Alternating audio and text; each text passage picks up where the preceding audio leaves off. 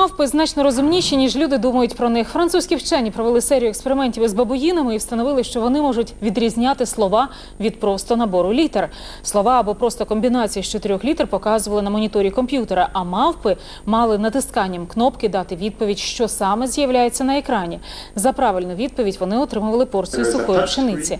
В результаті всі піддослідні бабуїни навчилися впізнавати три з чотирьох даних слів. Вони не читають, кажуть дослідники, але набута навичка принципово важлива для читання.